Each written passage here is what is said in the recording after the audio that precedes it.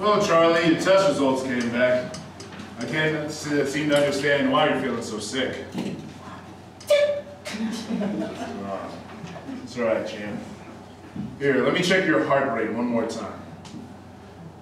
The he go off? Hey. Hey, I thought them party out there. Yo, this beat's fire. but you're definitely gonna die, Charlie.